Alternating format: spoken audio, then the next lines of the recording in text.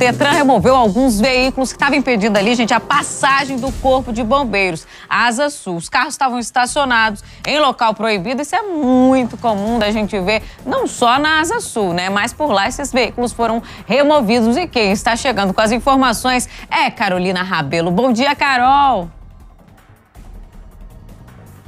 Isso mesmo, Nicole. O Detran vem realizando diversas operações justamente para fiscalizar esses motoristas que estacionam em lugares irregulares. Viu? Bom dia para você e para quem nos acompanha aqui no Balanço Geral Manhã. E durante a tarde de ontem, eles realizaram uma operação em três regiões administrativas, sendo no plano piloto, Taguatinga e Águas Claras. E durante essa fiscalização, ali na área do plano piloto, na 716 Sul, eles precisaram remover três veículos, conforme a gente vê aí nas imagens, que estavam estacionados em locais irregulares. E a gente acompanha aí, ó, que um caminhão do Corpo de Bombeiros, eles precisavam passar ali para fazer um atendimento e eles não conseguiram entrar na via porque esses motoristas estacionaram em lugares irregulares e o caminhão não passava pela faixa ali que estava disponível. Então o Detran foi acionado e durante essa operação eles precisaram remover esses três veículos. Ao todo, durante essa operação que aconteceu na tarde de ontem nessas três regiões administrativas,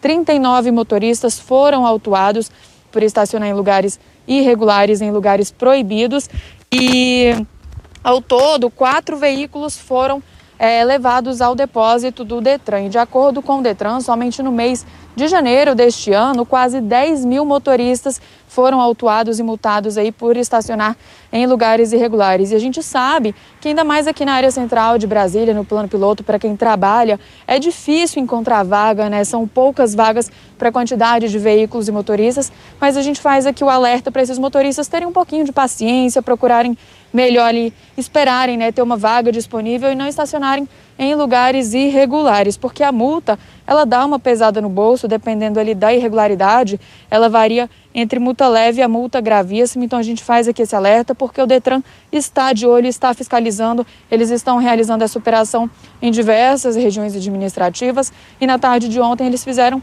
em três regiões administrativas, né? Plano Piloto, Taguatinga e Águas Claras. E ao todo, 39 motoristas acabaram sendo multados justamente por essa irregularidade, viu, Nicole? Pois é, Carol. Eu vejo aí mais do que a remoção do carro e, do, e a multa também, né? Claro, pesa. Talvez assim esses motoristas comecem a ter mais consciência. Só que eu fico imaginando aqui nos bombeiros, ou o caminhão, a viatura do Corpo de Bombeiros que precisa estacionar, precisa fazer um atendimento de emergências. Pessoas, é, vidas podem né, estar em jogo aí nessa situação e eles simplesmente não conseguem porque as pessoas pessoas pararam em lugar irregular, embaixo da placa de proibido estacionar. E eu penso também não só nesses lugares que são reservados essas vagas para as viaturas do Corpo de Bombeiros, né? Que geralmente tem no comércio, é obrigatório, tem que ter. Uh, a gente nunca sabe quando vai acontecer um incêndio, quando vai acontecer uma emergência, então eles precisam desse lugar para estacionar, para fazer o resgate, para fazer esse socorro.